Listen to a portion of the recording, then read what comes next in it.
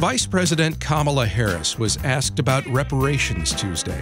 I'm Craig Cohen. Today on Houston Matters, we'll share her reply, find out where Americans stand on the issue these days, and discuss it with Houstonians on either side of it. Houston Matters with Craig Cohen is a production of Houston Public Media with support from Baylor College of Medicine. Also, this hour, there have been a number of intriguing stories in the news lately out of Fort Bend County. We discuss them with reporter Natalie Weber from our Fort Bend County Bureau. Then we chat with the inaugural president of the Houston campus of Texas Woman's University, located at the Med Center. Plus, Houston Chronicle music critic Joey Guerra on the late Tito Jackson and the legacy of the Jackson Five. We'll start with a news update from NPR and News 88.7. Stay with us.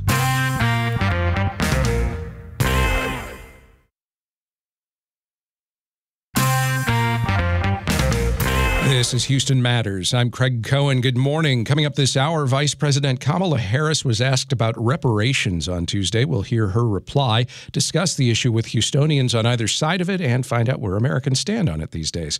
Also, we learn about Texas Woman's University and its campus at the Med Center, plus Houston Chronicle music critic Joey Guerra on the late Tito Jackson and the Jackson Five. But first, there have been a number of intriguing stories in the news lately out of Fort Bend County, and from time to time, we like to check in with Natalie Weber from Houston Public Media's Fort Bend County Bureau. Natalie, good morning. Good morning. Let's begin with the county's proposed budget for 2025. It was submitted to the county clerk and county auditor this week. You reported earlier this month commissioners had voted to give themselves, as well as other elected officials, raises. Uh, one would presume that means the budget's increasing, is it? So it's actually decreasing this year. Last year's budget was roughly $767 million, but this year's budget is expected to be around $731 million when it's passed.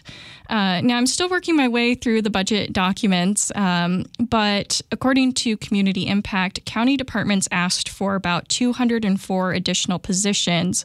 Uh, but as of August, the proposed budget recommended only 33 of the requested ones. The city of Houston and Harris County are considering tax hikes. Is Fort Bend County considering raising property taxes? Property uh, tax rates are expected to decrease uh, with this year's budget. Um, and the county commissioners court voted uh, for a proposed tax rate of 4.12 cents per $100 of valuation. That's down from 4.265 cents per $100 of valuation last year. Is it clear yet what accounts for how there can be raises for elected officials, decreases in taxes, and yet the budget is actually going down?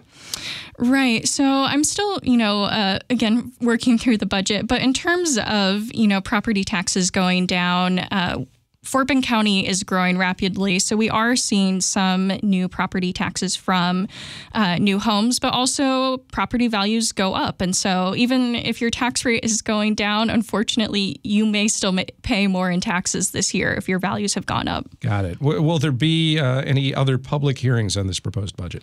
Yes. So, there will be a budget hearing Monday night, and then uh, also on Tuesday afternoon at 1 p.m. And then when will commissioners vote on it?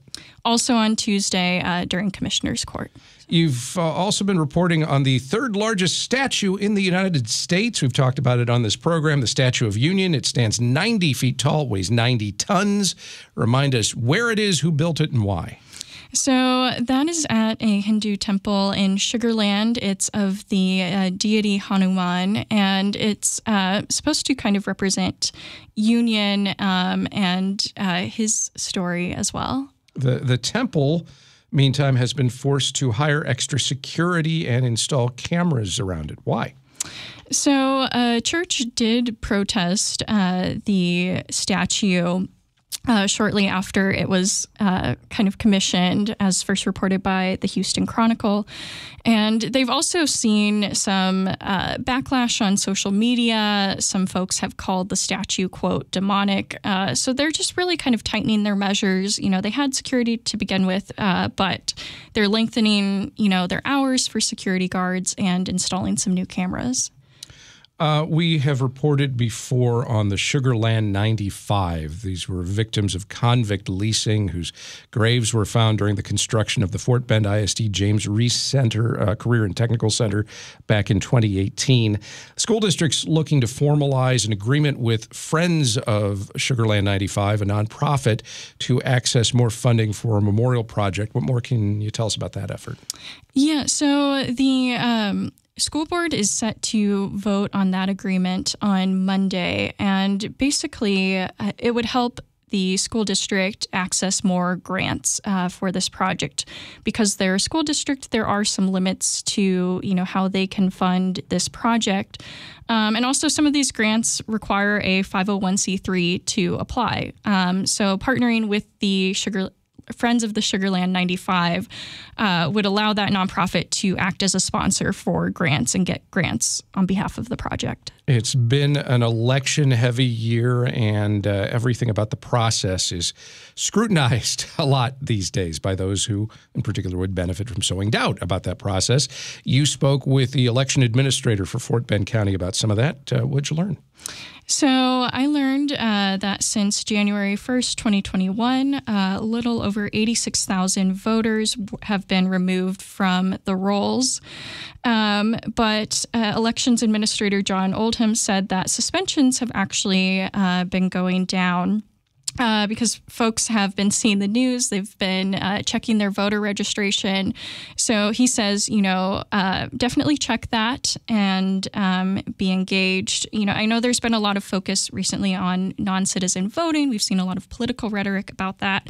Um, and when I spoke with Mr. Oldham, he said, you know, he remembers, I think, just a handful of cases in nearly 15 years he's been there. There was one guy who got confused last year. Um, and then one instance where some folks actually self-reported because they were told they could vote and they were like, "We don't think that's right," and so they they checked with the office and they're like, "Yeah, sorry." Um, so it's pretty rare in Fort Bend County, from what he's told me.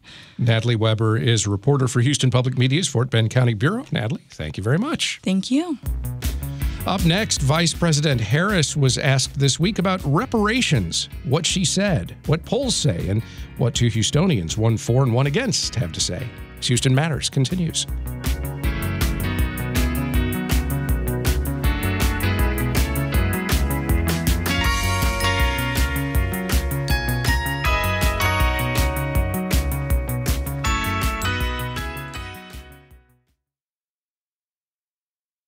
This is Houston Matters. I'm Craig Cohen. In an extended interview Tuesday with panelists from the National Association of Black Journalists, the Democratic nominee for president, Vice President Kamala Harris, was asked whether she supported an executive order to create a commission to study financial reparations for the descendants of slaves in the United States. While Harris spoke more about addressing the racial disparities many African Americans have historically faced in various aspects of American life, she did say she thought Congress should take the the lead on any such actions. Because if you're going to talk about it in any substantial way, there will be hearings, there will be um, a level of public education and dialogue that, and I think that was part of the, the spirit behind the congressional action thus far, to ensure that everyone can participate in this conversation in a way that elevates um, knowledge about history and the reference points that have um, that are the impetus of this conversation. Vice President Kamala Harris in an interview Tuesday with members of the National Association of Black Journalists. Political scientists at the University of Massachusetts Amherst have been polling Americans about reparations for a few years now. The latest poll conducted in January shows some 6 in 10 Americans oppose them on at least some level. Only about 3 in 10 show some level of support. Tatishe Nteta is a political science professor and director of the UMass Amherst poll. He says opposition spans across many demographic groups it is not a popular policy by any stretch of the imagination. And if you look at various demographic groups, various political groups, most groups, whether you're looking at men or women or educational levels or class in terms of income, express opposition. Majorities of these groups express opposition. Tatishe Nteta is a political science professor at the University of Massachusetts Amherst and the director of the UMass Amherst poll. He says while support for reparations is highest among African Americans and younger Americans, opposition has grown across the board in the last three years, and those who oppose the question, uh, uh rather those who oppose it, question who would deserve cash payments and how to even place a proper monetary value on the impact of slavery. Our next guest was among those opposed to reparations just a few years ago, but Joel Edward Goza has changed his mind and now says he believes it's necessary to heal our country and its racial divide. He makes his case in his new book, Rebirth of a Nation Reparations and Remaking America. Goza, who lived and worked in Houston for a number of years, is a professor of ethics and the director of academic partnerships at the HBCU Simmons College of Kentucky. He joins us now. Welcome to the program. So good to be with you, Craig. Thank you for having me. Why did you oppose the idea before? Well, before I started really a deep dive into the research of it, I felt like it was absolutely impossible uh, to pass, you know. And so when you thought about what you wanted to spend your energies on and your efforts on, you had to be pragmatic because people were struggling to survive in the communities that I worked in. And so I wanted to focus there um, and just didn't think it was possible. And once it became impossible, then I failed to do the type of research that would really challenge my mind. Uh, and what ended up happening to me is that I had a mentor that really challenged me. Um, and so I had to really enter into the work of understanding the conversation better, the way the conversation is framed, understand the history better. Uh, and what surprised me on the journey uh, was that I learned most of the wonderful changes that have happened our, in our nation really were impossible. The fall of slavery was impossible. The fall of segregation was impossible. But what ended up happening is that a generation arose that made these changes inevitable. And I believe that that is the context that we are living in today as we are experiencing the type of racial upheaval that we have. And the question for me became what provides the best future uh, for all Americans as, uh, as, we start working together? Aside from suggesting that there can be an eventual future where something mm-hmm. that may seem uh, impractical could become practical. In what other mm-hmm. ways? What other ways did this mentor challenge your notions of this? And, and who was this? Mm-hmm. We're talking about? So I was in Houston's third ward with Pastor DZ Cofield, and I had written a book really examining the roots of what Martin Luther King Jr. referred to as the ideational roots of race hate, and when I interviewed with Dr. Cofield, what he said is that this really lays the foundation to be exam- uh, to begin an honest conversation of reparations.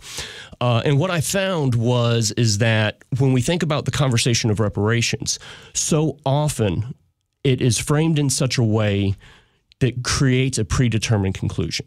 So, for instance, if people start talking about I didn't, my family didn't own slaves and don't understand reparations as a national responsibility, not simply an individual responsibility, then you've gone to a predetermined conclusion.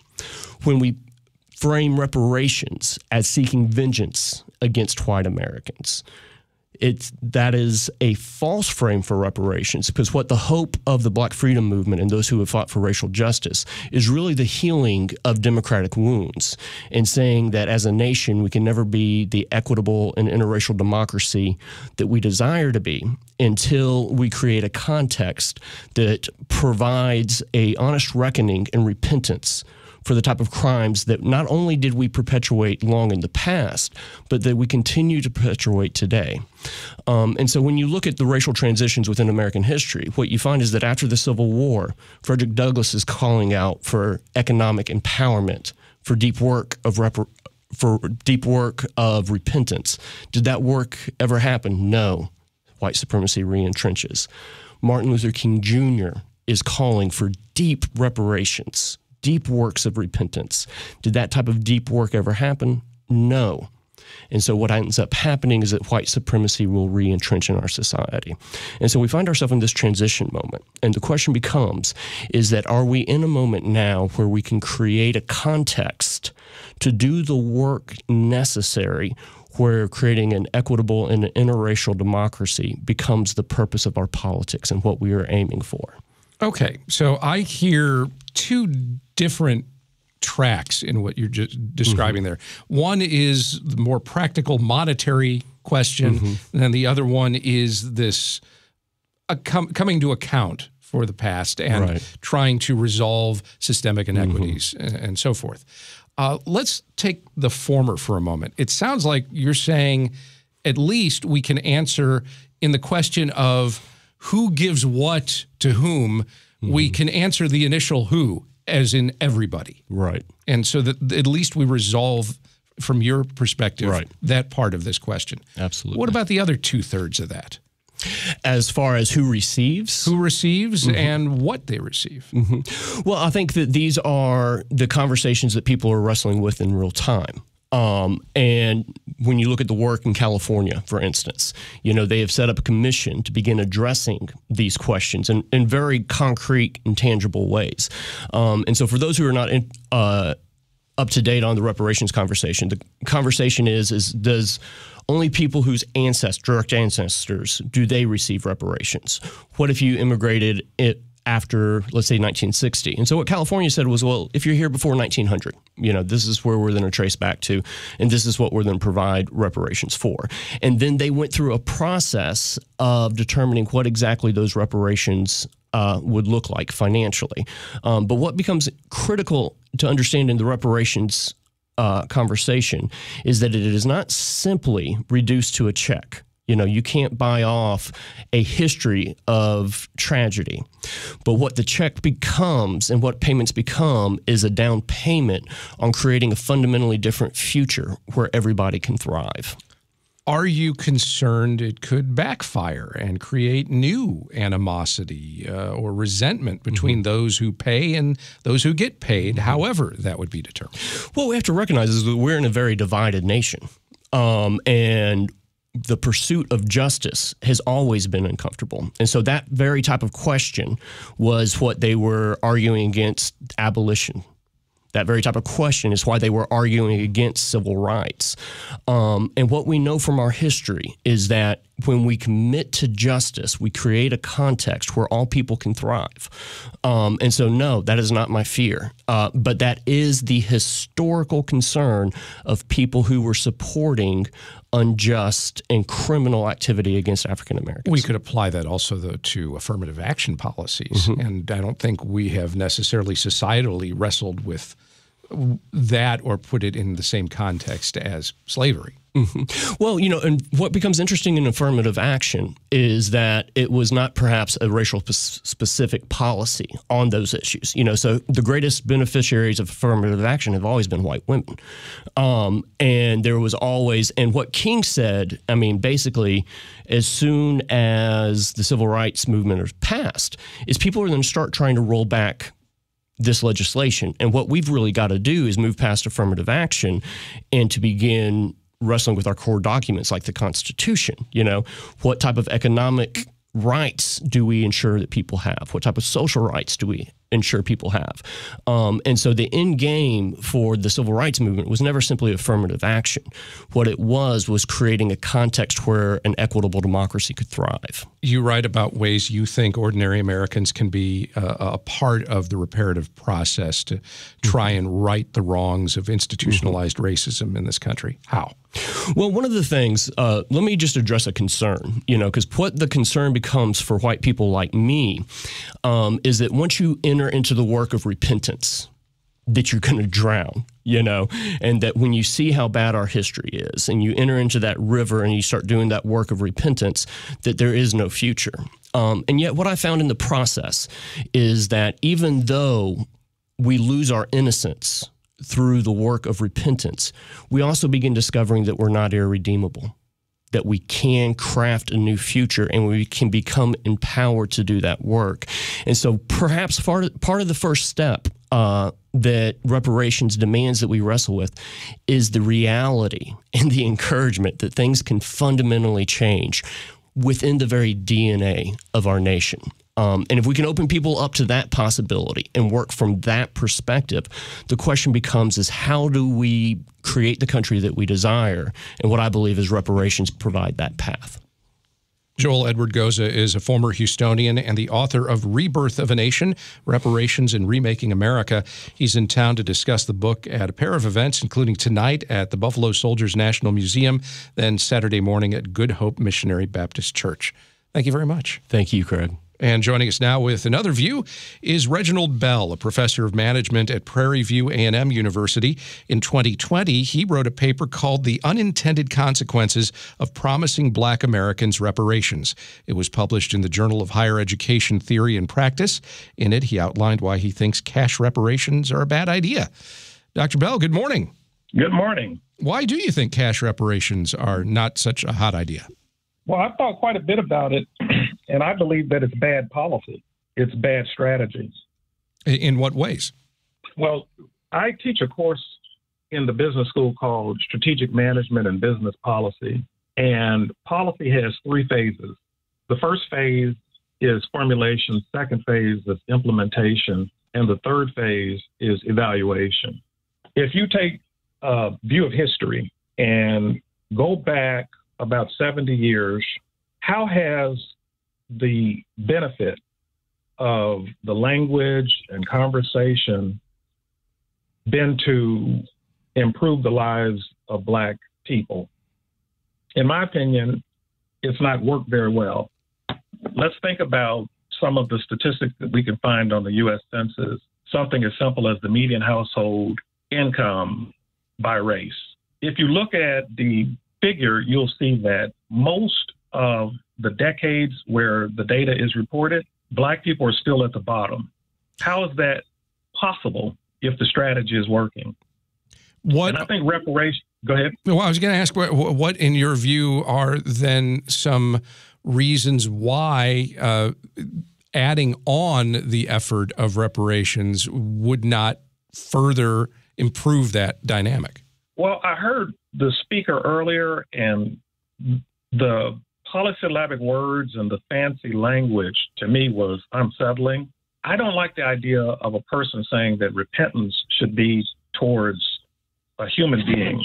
Anyone who has read the New Testament Bible and you've read the Gospels, you know that Apostle Paul was preaching about Christ crucified and when you read when you read uh, the book of Romans, when you read uh, Galatians, and when you read First Corinthians, forgiveness is extremely important in terms of repentance of one's sin. And you don't repent to human beings; you you repent to God, and you obey God thereafter.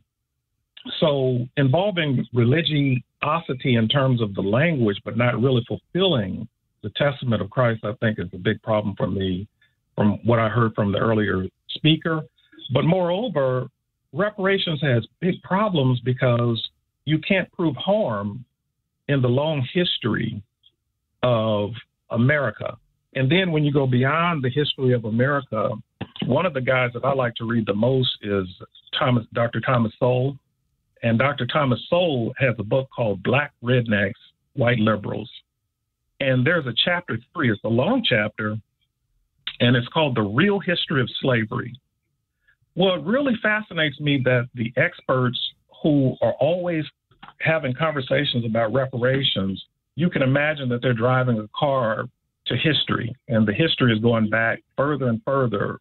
But it seems that they're always managing to stop at the history convenient for themselves, and they drive right past the history that can be a representative of counter to their arguments. Can you give an example of what you mean? Yeah, in the in the real history of slavery, if you let let's say that we take a let's say that we take a building and let's say it's the size of the Empire State Building. How much history of slavery would American slavery represent if it was compared to the size of the Empire State Building? Would it represent half of the history of slavery, a third, a tenth, a fifth? Well, what you would find is that American slavery is so minute in comparison to the real history of slavery. And what Dr. Thomas Sowell covers in the real history of slavery in that chapter three, he expands it to the slavery that occurred all throughout the Atlantic coast, the slavery that occurred in Africa, where the tribes that were the dominant tribes who killed and murdered the inferior tribes sold the slaves to many of the Americans and the Europeans who came to purchase those slaves.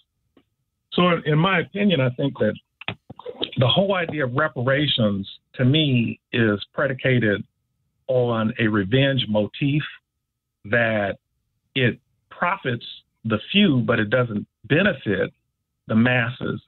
And unfortunately for Black Americans, it is not the solution that would improve the lives of most Black Americans. And we know what those solutions are. There's no uh, faking it, there's no imagining that they don't exist. We know what it takes to be a successful Black person.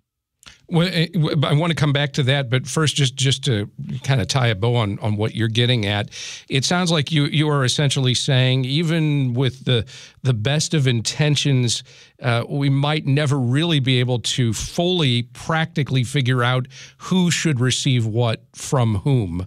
Uh, in a way that is ultimately fair, because you can always look back through history and find examples that run counter to what you came up with. Correct. In the paper that uh, I wrote back in 2020, there was a young lady, I won't mention her name, but there was a young lady who did a DNA test. And her skin, I think, is darker than mine in comparison. And she found out that she was 40% European. The problem with so much race mixing in America is that how do you really truly determine what the threshold is for blackness?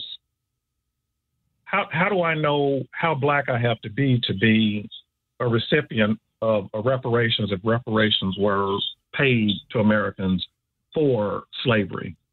So, what can really improve the lives of people whose families across generations have, uh, whether we speak of slavery or anything else, experienced institutional racism of some kind? Uh, what what are the things that that those populations should look to do? Well, the first thing I would do if I was talking to a group of young people, let's say that they're 19, 20, I would talk to them about forgiveness. It's time to forgive America. Let's have a movement where we forgive America. And once you forgive, your mind is no longer cluttered. And when your mind is not cluttered, now it is a clean canvas that can be worked with.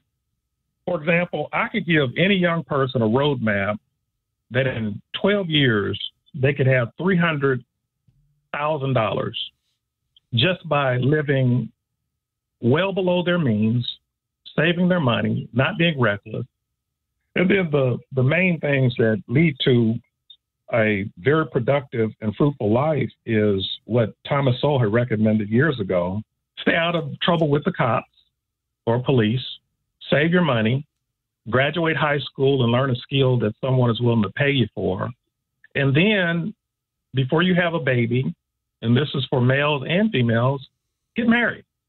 And we know that when we compare married couples, and this is, you can find this right now, anyone who's listening, if you go to open up a Google browser or whatever your favorite browser in, and if you type in median household wealth by marital status, and the report that is a uh, report from the Census Bureau will come up immediately, and they have bar graphs in a figure. And what you'll see is that they reported in various age ranges, and they compare married couples with single men, single women across four age ranges. And the married couples are 10 times richer than singles. So we know that when we do longitudinal studies and we compare married couples with non married people, we know that marriage is one of the best ways to pull yourself up out of poverty. Also, people who abide by a teleological ethic tend to do better in life because the values of a teleological, meaning uh, an ethic of some religious foundation, for example, Well, I'm, I, I, I, forgive me for interrupting you here, but I, I kind of want to wrap up the conversation here, and I just I want to make yeah. sure that I've got a clear understanding of what you're getting at. Basically, you're saying you see other factors at play that can help uh, improve uh, the lives of just about anybody, but particularly since we're talking about something like reparations, people who maybe generations back have experienced uh, historically systemic racism in various forms. That instead of looking for that sort of you know one-time lump sum payment look for ways within your own life to improve your financial situation and that that overall will build up uh, uh, any given population. Is that a fair well, assessment of what you're saying? No well what i'm saying is that there are certain values that lead to success and there are certain values that lead to failure in life irrespective of your race. Okay. Reginald bell is a professor of management at prairie view a&m university. His paper published in the journal of higher education theory and practice is called the unintended consequences of promising black americans reparations. Dr bell thank you very much. All right. Thank you craig and just ahead, we learn about Texas Woman's University. There's a campus at the Med Center. We'll meet its inaugural president as Houston Matters continues.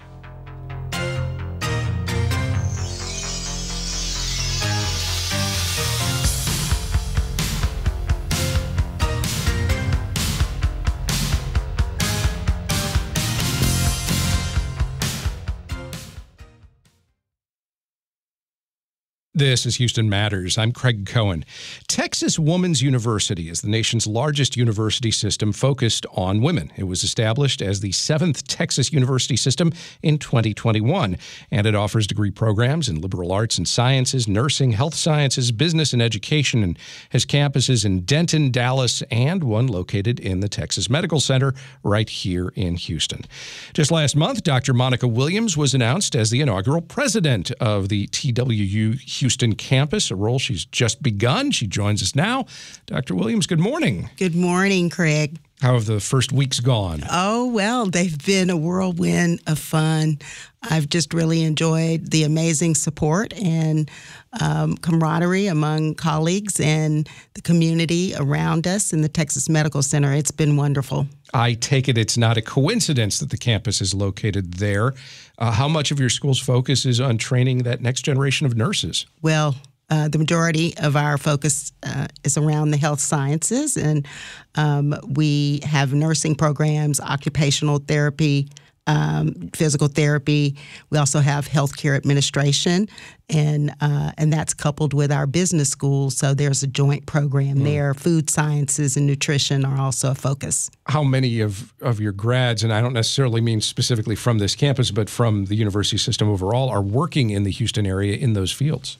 Well, we have uh, a number of of our alumni working in Houston, serving Houston, that are both from Houston and from the state and the region and the world. So um, many of our students who go on to pursue careers in healthcare fields are working right in the Texas Medical Center. Why is it important to focus on that right now? Well, uh, there are shortages of, um, workforce needs, um, and we are there to fill those needs. Our goal is to uh, empower and transform women uh, and change the narrative in their families uh, for generations to come. If you educate a woman, you change the world. Uh, and I know you're new in the role, but uh, Texas Women's University, while this system has been designated as such just in the last few years, uh, the university itself goes back uh, a lot further, right? Yes, since 1901, we were established in 1901, and um, and so we've been doing this work um, on behalf of women all over the world um, for generations. And um, if, again, just making uh, the transformation in communities that we serve. Um, my job is going to be to grow that student body here locally and uh, bring more talent to the Houston area, and uh, that's what I enjoy doing mostly is building and growing uh, institutions of higher education. How many students do you have right now? Um, at my campus, uh, a little over 3,000. Okay. And uh, how many graduate each year? Um, well, we have about a thousand students that graduate from Houston every year. As you said, this has been around since 1901 in one form or another, uh, and focused in particular on women, but that does not mean that the entire campus population uh, are women. It's nearly all, but uh, what about 10, 11%, something like that? Yes, we have 90% women, so uh, and 10% men. What, what are some of the reasons some men uh, attend your university? Well, um, we have the best programs around. We've been um, rated uh, number one in uh, several categories in the U.S. News and World Report, and um, and so men uh, uh, learn from women often, and um, and the cohorts that they participate participate in, they come out leading just like our women do. A century ago, of course, uh, the the numbers, the ratio of men to women in higher education were drastically different than they are today. In fact, uh, I think I saw a story that uh, the the incoming freshman class this year that uh, uh, women outpace men by a pretty significant margin, higher than we've seen in, in a long, long time. Uh, something like I think it's closer to the the 56 44, 58 42 kind of range, something like that. Mm-hmm. Um, in that context, a time when we do have significantly more women than men attending college, is there still a need for a university system focused on women? Absolutely, because um, women women just uh, thrive uh, around other women, and um, the whole notion is that uh, we lift each other up and having that support system, uh, looking around the room, seeing other women who face the same uh, or similar challenges as you do, uh, working, raising a family, um, and finding uh, the opportunity to do what you love most is incredible. Do you worry at all that focusing on disciplines and careers like nursing uh, and having so much training going through university system that touts that it is focused on women and it has such a high population of, of women, that that might reinforce to some notions of gender norms when it comes to a career like nursing? That my, uh, is there any potential that that turns off some men who might be inclined to become nurses to go into nursing, or is that not a concern at all? I, I don't really think it's a, a, concern. And aside from nursing and the and the health sciences, we also focus on education. And you know, there's a teacher shortage. Yeah. Um, uh, and we're trying to fill that void. And what we've realized um, through looking at our data internally is that our teachers, the, the, teachers that we produce, stay in the independent school districts for longer than other uh, institutions that produce educators. And so um, we, we're on to something there. So, what are your, your major goals for the, the campus for the next few years? Well, um, grow, grow, grow, right? So, um, our, our focus is going to be uh, looking at expanding our program offerings and partnerships, uh, also um, expanding our programs. That's just really key. Um, how we increase the number of students that we have in some of our professional schools is on our minds. And then we're also looking at ways in which we can uh, meet the demands of the workforce. And we're asking our business partners and, and friends in the community what they would like to see us doing. And so that's where we're going to concentrate and we need the help from the community. As you say, uh, there are shortages in certain healthcare fields and teaching and, and, and other disciplines. Uh, are you seeing enrollment increasing to meet all of that, or is it there still needs to be a certain degree of of recruiting, convincing, cajoling people into some of these fields? Well, many of the, the programs that we offer are are uh, cohort based in design, so they um, have to be small and and they're competitive. Um, but there is an opportunity for us to increase our enrollment, and that's what we're gonna we're gonna do. We're really going to look at uh, those, as you said, fields that. Uh, need more assistant, need more workforce, and need more women. Dr. Monica Williams is the inaugural president of the TWU Houston campus. Dr. Williams, thank you very much. Thank you, Craig. Thank Still to come, Tito Jackson of the Jackson 5 died early Monday. We discuss the Jackson 5's legacy with Houston Chronicle music critic and writer Joey Guerra. Stay with us as Houston Matters continues.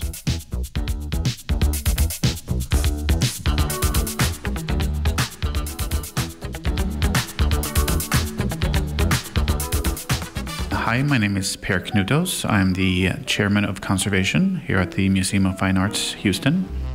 Art conservation is to restore back the functionality of an object, but it's also conserving the stories that the artwork will tell you. We're not turning anything back to the way it looked when it was created. We're also respecting the, the life that it had. When you go to a museum, you see all these beautiful objects on view. What you do not see is the aging process.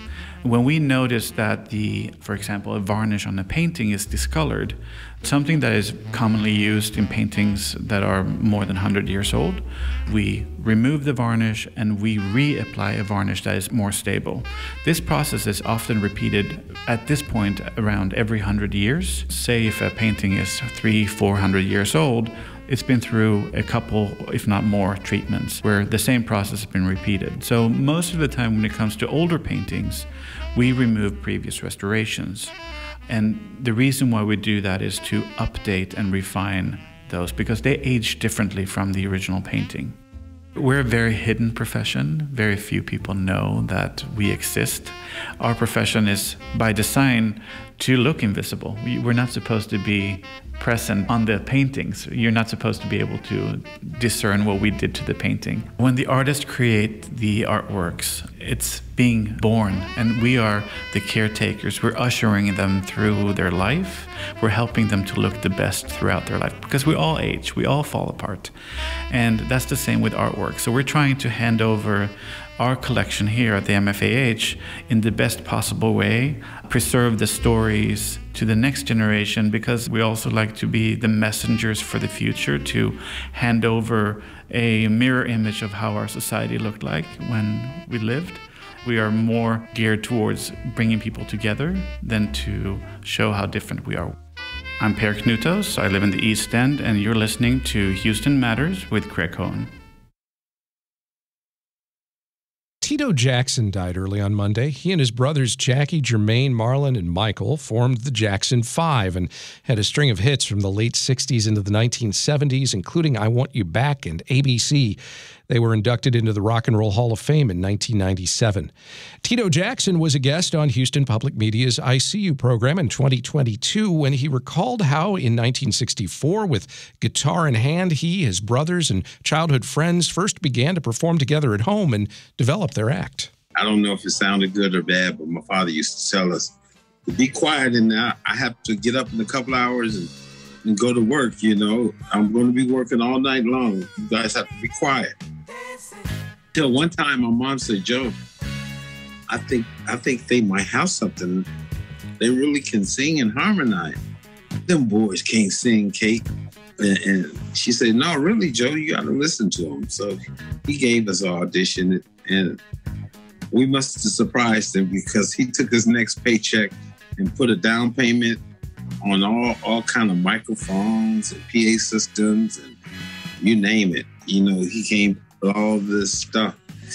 He must have had some kind of dream or intuition or something.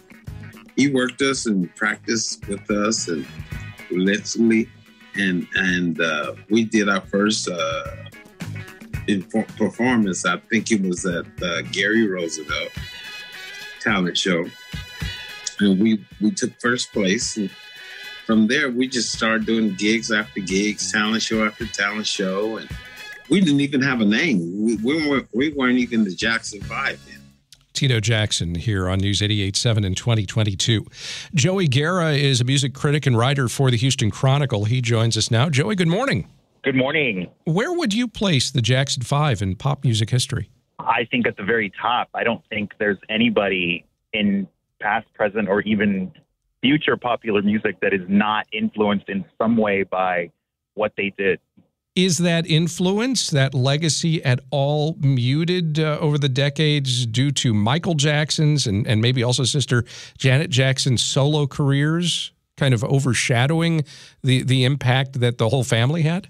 I think when you look at it on the surface, possibly, you know, it, those are the names obviously that come to the forefront.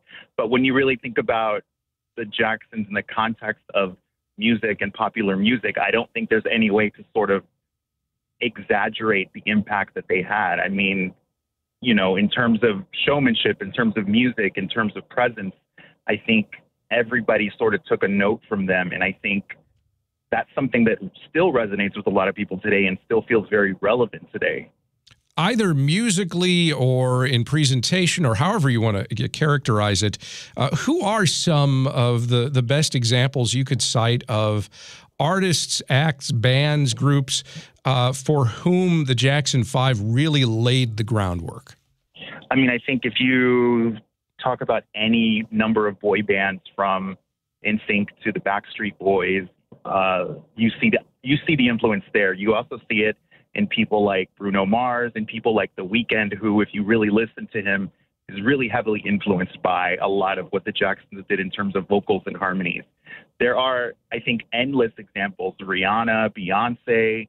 I mean, so many people that are still currently working today, you know, that could be considered even some new artists that I I feel and I hear in what they do a lot of what the Jacksons sort of laid the groundwork for. Can you give uh, uh, maybe a specific example or two of particular sound, instrumentation, style, something that that really sticks out to you? I think when we look at people like Bruno Mars, Justin Timberlake, even Justin Bieber, you know, it's sort of the combination, the combination of the dancing, the showmanship, the presence, the vocals, you know, the the way that they are sort of aces at crafting a pop melody. I think all of those things come from people like the Jacksons, the Jackson Five, and you can see that through line to me very directly in people like that. You know, in their songs, in their presence when you see them in concert. I think they really took a lot from what those brothers did. Who then, in turn, uh, influenced the Jackson Five and and led them to to strike out with the sound that they had. Oh gosh, I mean, I think in a lot of ways what the Jacksons did was very unique. You know, they were a group of brothers, but they were also young black men. And I don't think the world had seen anything like that when that happened, which is why it became such a sensation. You know, the attention pretty quickly went to Michael Jackson, but I think they all really sort of laid the groundwork for what they eventually did and for what eventually happened with Michael Jackson, with Janet Jackson, and of course, to lesser extent, with some of the others. But you know, I think in a lot of ways, what they were doing had never really been seen before. This is, of course, a program called Houston Matters. And as you well know, I have a tendency to bring everything back to Houston. And I can't help but but talk about this without talking about some connections here. Uh, the Jackson Five performed here in Houston at the Rodeo in 1974. Uh, Michael Jackson came back through uh, on his tour for the, the solo album Bad in 1988. And yet, uh, if we had to admit it, probably would have to say Janet Jackson and the wardrobe malfunction at the Super Bowl 20 years ago is maybe the family's most uh, common link with Houston.